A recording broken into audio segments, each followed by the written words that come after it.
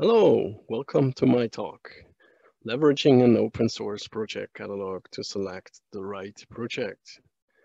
My name is Marcel Kurzmann and I'm from Germany. I work at Bosch and there specifically at Bosch IO. So our motto is we bring IoT to life. And within Bosch IO, I'm working in the IoT uh, open source services and uh, here I run the open source office. In parallel, I am also part of OpenChain governing board and try also to support uh, the activities here in the community. Bosch and uh, open source, where's the link? The link is that from Bosch.io, we try um, to connect all the Bosch things that make sense into the internet. And for this, we run a IoT platform, IoT suite, uh, and this is totally based on open source. So here we are part of the Eclipse IoT working group, uh, also member of the Eclipse Foundation. And um, here you see that was a lot of work. So it's uh, not from one to another, but you have some steps that you have to go through, uh, starting with mere usage, climbing up that ladder uh, via contribution, and finally, uh, we are also proud to be able to run some projects as project lead within the Bosch, uh, within the Eclipse IoT uh, working group. And um, as this, we had the pleasure from the open source office side to accompany this over the last years. And when we saw, okay, our developers need uh, to go through those processes with us, um, we had the idea, okay, how can we better fit this uh, to their needs? And so the idea here was like eat, eat your own dog food. So we also set up our own strategy for our open source office, also to leverage open source uh, tools and also material, everything, and also to share with the public and collaborate with other companies. And that uh, was already started a few years ago. Uh, here, my last talk I had in the summit was in 2018. I linked it here. And this is also uh, one thing that uh, went very well. And uh, therefore, also we, we appreciate now this collaboration with the community. And today I want to give you insight a little bit more into our work in the open source office and giving you some ideas where we could also collaborate more on this. So our view uh, when we looked at um, all those topics that we tried to cover uh, in the open source office, we uh, made a little open source management process landscape. And there we have those four big blocks in the process landscape. The one is the open source strategy and ecosystem but this is rather on a high level. But on a daily work level, we have typically the open source usage and handling we have to care for. And on the other side, then also the community involvement and contribution. And this is all done uh, in the background. We have this open source management system running where we have also a lot of processes that we need to care of. And today my talk is about the experience we had in those processes, caring about especially the contribution and um, as some of you might know Bosch, um, yeah, we also have some requirements to ourselves. So on the one side, we try to protect our company. Yeah, that's clear. We are the open source office, we need to protect them. But on the other hand, we also have then our developers in the field, so we try to also collect, uh, protect our employees. On the other side, we try to be a good citizen in the community as we value uh, the community and in parallel, we have anyway, since the beginning, our founder um, started with those Bosch values. Uh, so we have also certain responsibility in society.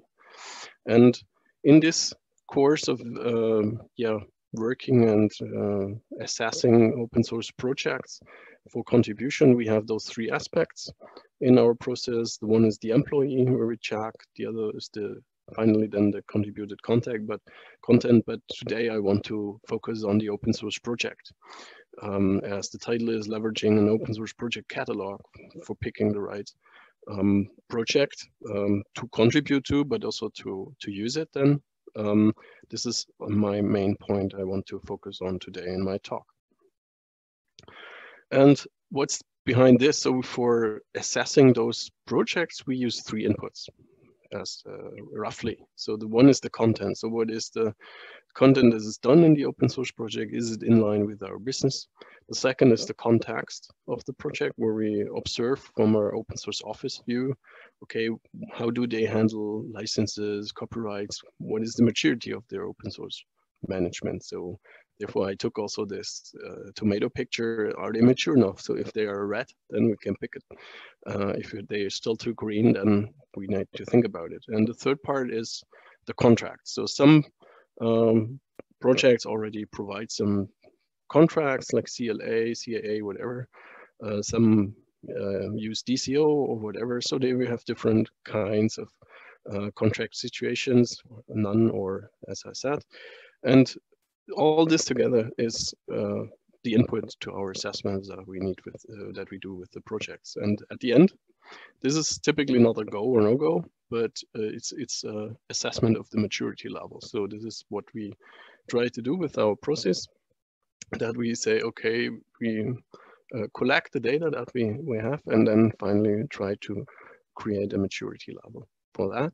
And if the maturity level is okay, then we're ready to contribute. But if the maturity level is not okay, this is not, not a blocker or something, but then we need to think about, okay, how can we can we help the project or what can we do to raise the maturity uh, to a level that we would expect? Um, well, here in this specific case with the focus on open source management.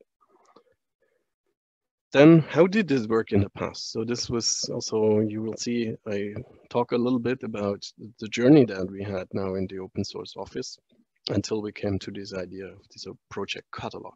So in the past, we got these requests. Uh, uh, we want to contribute to that project. So we needed to collect some data. Then we analyze that data. Then we collect more data and more data and then review it, etc., etc. So it piled up really, as is shown here, a pile of information um, for each project, um, just to have the input to judge the uh, maturity of that project. And on the other side, it was not, uh, well, distinct mm, family of projects, but it was really ranging from small libraries to whole frameworks that we need to assess on the one hand side. On the other side, it was different domains as we are IoT, we will really connect everything. So on the one side, it might be automotive, and the other side, industry, whatever. So we do not really have standardization in neither in the range, uh, in the size or whatever. So we really need to cover all projects um, that are uh, that are there. And our observation when we looked at this is um, as we had to process already now some of uh, a, a, nice number of projects, that uh, there's a very heterogeneous situation. On the one side is the availability of data. So sometimes we try to find out, okay, what's the situation in specific projects? And then the question is, didn't we find it or isn't it there? So, and sometimes it's the data is just not there. The, on the other hand, we also observe we have different structures and representation of that data. So sometimes uh, you find a CLA there or there, or the um, yeah how to contribute is written there or there or in different in different ways. Uh, on the other hand, we try to also to leverage available sources like OpenHub, for example, but this is yeah rather the the data that is provided there uh, is not really talking about the stuff that we needed. For example, where you can directly check, ah, there they have a CLA or DCO or whatever. On the other hand, uh, it's yeah, it's black duck in in, uh, in the background, and and also it's not complete. So same with uh, the projects lists and and directories from the foundations. They are, have a much better structure, and in itself, it's rather standardized, but it's also incomplete as they only care typically about their own projects. Then the third part was that we were in contact with some of the people from the European uh, side that they had an idea about the FOSS catalog, um, a European FOSS catalog. So this is still open. So that might be an idea. Uh, and here we are open for discussion then later. Um, and this also the idea to, to form a new community about, about this metadata that we collect here. And finally, um, what happened in our journey is that because we had to work on it, um, we needed to handle that different situation because we needed a standard workflow. We had all the developers that waited for the answers and and uh, then finally we created a standardized structure to, to collect that data. And the initial structure, to be honest, that was yeah nice to watch, uh, but it was huge. It was complex, and it was really you needed a special training to fill it out because it was so huge. And um, then also the question, well, is this really necessary to collect that data? What do we need it for? And then finally we came up with the need, okay, we just potentially we only need a landing page where we, we can start. And, and if we need more information, that's that's enough because the, the information is there. You only need to know where it is. Then the solution also for the complexity was that we tried to make it, well, a little bit simpler, where we said, okay, let's split it up in sections. Uh, so because the one who initiates that uh, only needs a few information, does not need to provide everything, but the next step, as you have seen earlier, we had to process that and then we needed in every step different, different data. And uh, this could be processed by different parties.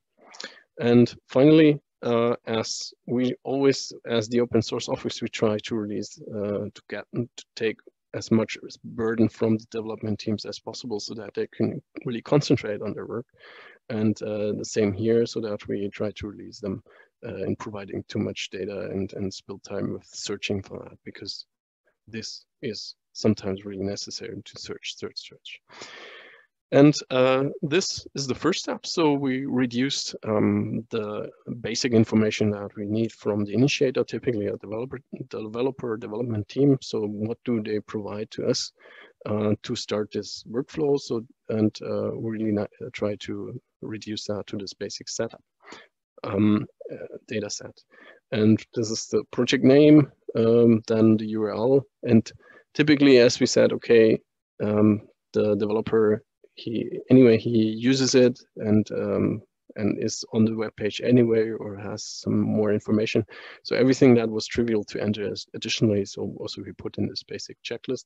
But the mandatory fields are the name and, and, and the URL, and that helped us okay to do the next step then uh, in the following uh, in the following steps in the workflow. And then once we get this uh, request, then we enriched this with additional data. And when we did this, um, we saw, okay, um, there's uh, another thing when we thought, okay, what do we do here? We, we primarily just collect the publicly available data and just put it in a different format. And uh, on the other hand, we had a lot of information that we needed internally. Like, as I said, if we handle CLAs, we need to know, okay, is, is it there already or not? Was it signed? On the other hand, okay, who might be a good contact person to get more information about this? So this is things that we mainly need for internal reasons, but all this other data, this is publicly available. So this is potential community data, and there is a high potential to share it as well. And this also brought me to this talk here. But um, more about um, this initial idea. So with this uh, starting request from a developer typically, so what would he need to do? He, yeah, he provides us the project name. Here I made a picture. Here in this case, Eclipse Hawkbit. He provides the project URL. And this is also, as it is already available on the homepage, also the link to the repository in GitHub. So that's trivial. And uh, by the way, yeah, we also have the little description. So this is a question of some some minutes, uh, if, if at all, to provide that. But typically a developer also same for you and me potentially if you need to switch your media you're not really happy about this and um, so as the git is uh, typically used by the developers and the developers would be the main uh, target group who provides us with those requests. We thought, okay, it would be nice to use then also Git uh, to um, to process this. And then the question, okay, what format? And here we try to use this um, Markdown um, because yeah, on the one side, it might be electronically processed. On the other side, it is also nicely rendered in most of the um, UIs from, from the Git uh, repositories and uh, even search is possible. So I was astonished. I, for the preparation, I checked it. Uh, so I have a lot of functionality already uh, from scratch uh, without even having extra media uh, or uh, nor a UI that I needed to create extra. And just as some experience, um, from the beginning when we try to do this with, with our wiki and Excel files, whatever, that was a huge initial effort on the one side. So you don't want to do this again. And uh, second, the question was, okay, how can we resend it? And there the use of Git also was well accepted by uh, most of the developers because this is a lower hurdle. They already know Git, they know how to use it. On the other hand, for all those office users like us, we also have now a nice wiki macro that renders also this repo content in our wiki. So both sides were happy with this and it was really uh, easy to handle. The other thing is that with this Git uh, systematic in the background, we can also use this and, and yeah, do the increments because uh, it starts with uh, this basic information, then uh, we add more and more data. On the other hand, as the projects change and potentially mature over time, we also need those updated data. And it's well quite perfect to use Git for this. And finally, uh, this is what we currently think about is also to, uh, because at the moment we still use um, our issue tracker for doing this uh, uh yeah, kind of approval and assessment workflow. So that we potentially might also use the pull request and review methodology. That's already pretty well known from software development, also for this uh, internally, so that we can also feedback to the developer, okay, now uh, we got your pull request, we work on that, and then you get your um, uh, your result, and everything is then uh, locked into the system. So that it's an idea, we didn't implement it yet, but I think there's a lot of potential so in this in this setup. But most important, as we have all this data now in Git, um, we're technically ready for collaboration. And uh, so, as I said, the the data that most of the data is uh, is publicly available. So we just invested the time to collect it, select uh, together, and compile it in in one in one uh, file. And there the open question that I had, because I looked at, as I said, in all those project directories and, and Open Hub and things like that. So where could we share this? Because the existing system, hmm, I was not really sure if that's the right way to do this. And also, perhaps we should also first talk about, is this the right uh, material? So do we need additional uh, data fields, things like that? And uh, with which community we could um, we could have those discussions. And uh, second, as this was in the in the beginning mainly focused on the project itself, the question is how could we also do the link then to the components because we have on the other side then um, a lot of component databases. And uh, so typically an open source project has an out as an output has the component. So that would be nice to also have that link. So if I go to the component, see, okay, what is the, the, the mother project of this or, or the other way around. So what components are produced by that project to have that in such a catalog. And um, the other thing is um, then also what's the future? So is um, the structure sufficient or would we need some more st structure? I tell you this now and here also feedback is welcome perhaps after my talk or if you approach us also in the communities, like in the tooling group or whatever, from OpenChain, is that, okay, if we come to the point where we said, okay, that would be a good idea, and but please add this and this in this field, uh, we should rather start this discussion now than later because if we collect that once I, I told you I don't want to repeat this and if we can already uh, identify fields that make sense for the future, uh, then we can directly collect this information right away now uh, without the need of doing too many adaptations later. So here, feedback is welcome, and this is also well the main uh, idea of my talk to really invite you to come into this discussion, potentially also uh, well having birds of feather sessions in one of our um, uh, community meetings, uh, as I said, OpenChain, uh, we have a bi-weekly uh, meeting here for the tooling group and also in OpenChain on the um, on the mailing list. And what about the potential? Because as you might imagine, I had already a, a few talks and, and uh, to people. And um, if you yeah, dream around, then there might be other potential use cases to, to, to do this. So potentially there might be, and this is also potentially one idea then in this European FOSS catalog that you really have a catalog, not only for the reason that I need, because in the open source office, this is really my daily work, but there might be other people that uh, try to uh, get an overview of available projects, open source projects, about their status, governance, funding, things like that, uh, addressing the, the readers' pers uh, perspective at that point. The other thing is I search for a specific product here.